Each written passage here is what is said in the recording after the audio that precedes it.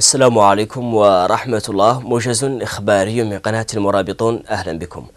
تسبب إعصار ضرب جنوب ولاية البراكنة في سقوط عدد من القتلى والجرحى كما خلف بعض الأضرار المادية.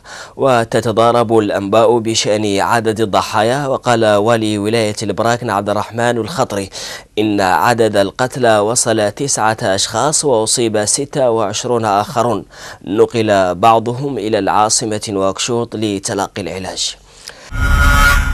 من ناحية أخرى تسببت عواصف شهدتها بعض قرى ولاية الأعصاب في سقوط عدد من القتلى والجرحى إضافة إلى بعض الخسائر المادية. وتتحدث بعض المصادر الإخبارية عن سقوط عشرات المنازل والأعرشة وعن تشريد بعض السكان جراء العواصف. جددت هيئة الدفاع عن العضو السابق بمجلس شيوخ الموريتاني محمد الغدة رفض الاتهامات الموجهة له واصفة إياها بالفاقدة لأي دليل يعضدها.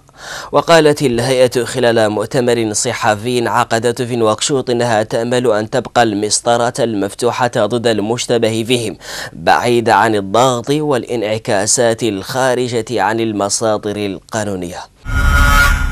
استنكر حزب اتحاد قوى التقدم في بيان صادر عنه اعتقال واستجواب بعض الشيوخ والنقابيين والصحفيين لأسباب وصفها بالواهية داعيا إلى إطلاق سراح المعتقلين فورا وبدون تأخير.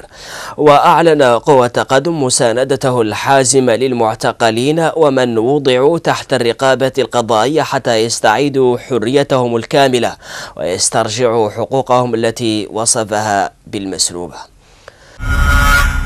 يمكنكم مشاهدينا الكرام متابعة هذا الموجز وغيره من مواجز ونشرات وبرامج القناة عبر صفحتنا على الفيسبوك الظاهرة على الشاشة.